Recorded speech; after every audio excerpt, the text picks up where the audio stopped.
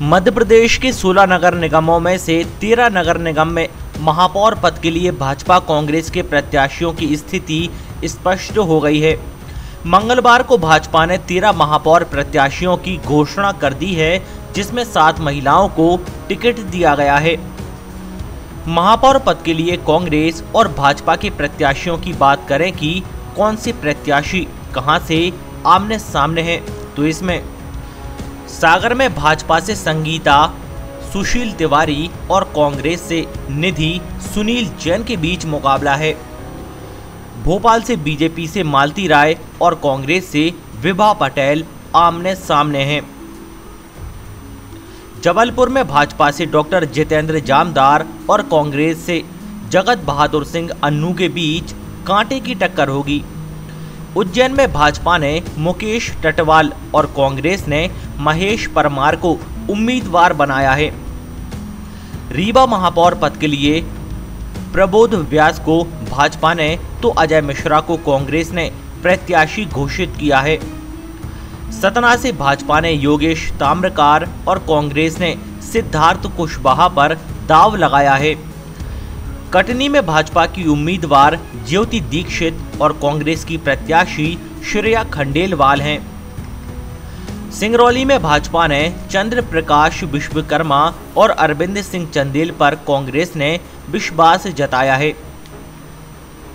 खंडवा में भाजपा की अमृता यादव और कांग्रेस की आशा मिश्रा के बीच सीधी टक्कर होगी। बुरहानपुर में भाजपा की माधुरी पटेल और कांग्रेस की शहनाज अंसारी का मुकाबला होगा।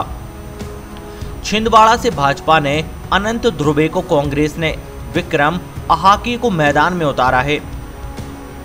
मुरैना से भाजपा की तरफ़ से मीना जाटव तो कांग्रेस की तरफ़ से शारदा सोलंकी मैदान में है। देवास से गीता अग्रवाल भाजपा की प्रत्याशी हैं तो विनोदिनी रमेश व्यास कांग्रेस की प्रत्याशी हैं। भारतीय जनता पार्टी मध्य प्रदेश की चुनाव समिति की जो बैठक हुई थी उस बैठक में चर्चा के दौरान जो नाम प्रत्याशियों के महापौर के लिए जिनको स्वीकृति प्रदान की गई ऐसे नामों का मैं आपके सामने उल्लेख कर रहा हूँ। मुरैना नगर निगम के महापौर के प्रत्याशी के लिए श्रीमती मीना जाटव, सागर महापौर के प्रत्याशी के लिए श्रीमती संगीता तिवारी, रीवा महापौर के प्रत्याशी के लिए श्री प्रबोध व्यास सपना महापौर के प्रत्याशी के लिए श्री योगेश ताम्रकार सिंगरौली महापौर प्रत्याशी के लिए श्री चंद प्रताप विश्वकर्मा, जबलपुर वहाँ के प्रसिद्ध चिकित्सक जाने माने ऐसे सामाजिक कार्यकर्ता डॉक्टर जितेंद्र जामदार कटनी से वहाँ के बहुत ऐसे कार्यकर्ता और लगातार पार्षद तीसरी बार पार्षद श्रीमती ज्योति दीक्षित छिंदवाड़ा से डॉक्टर श्री अनंत ध्रुवे भोपाल से भारतीय जनता पार्टी की वरिष्ठ हमारी नेता और लगातार एक कार्यकर्ता की भूमिका में जो भोपाल के अंदर रही है, पार्षद रही है, ऐसी श्रीमती मालती राय, खंडवा से जो वहाँ के नगर निगम के अध्यक्ष रहे और एक प्रतिष्ठित परिवार, श्रीमती अमृता यादव, बुरहानपुर से श्रीमती माधुरी पटेल उज्जैन से श्री मुकेश टटवाल और देवास से श्रीमती गीता अग्रवाल। ऐसे अभी सोलह में से तेरह महापौर प्रत्याशियों के नाम की आज मैं अभी घोषणा की है। मैं सभी प्रत्याशियों को बहुत बहुत शुभकामनाएँ देता हूँ।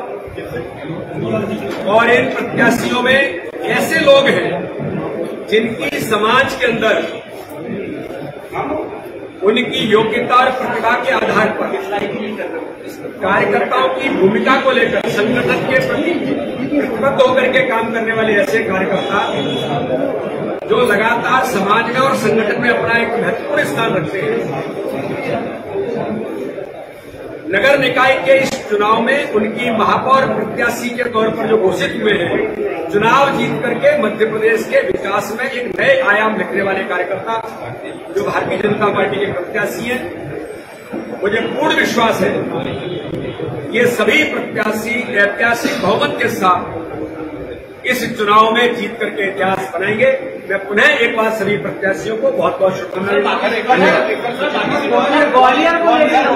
अभी अभी तीन नगर निगम के इंदौर रतलाम और ग्वालियर। वो जल्दी ही आपको घोषित हो जाएगा।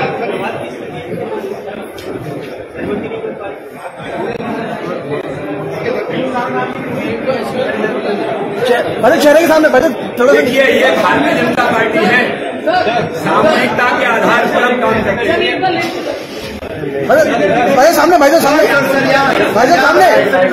भाई सामने। भाई सामने भाई सामने। चेहरे के